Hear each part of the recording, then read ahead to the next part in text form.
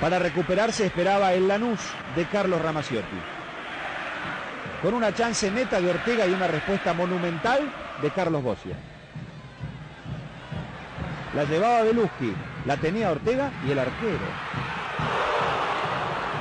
Poco llegó Newell, casi nada Lanús. 0 a 0 fue el resultado final.